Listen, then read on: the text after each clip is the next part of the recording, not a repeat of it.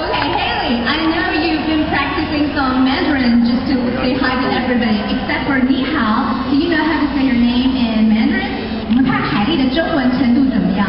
你会不会介绍自己的名字？How do you know how to pronounce your name in Mandarin?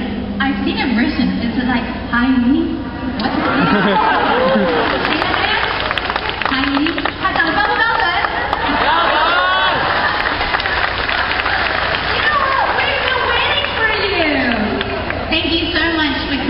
Thank you.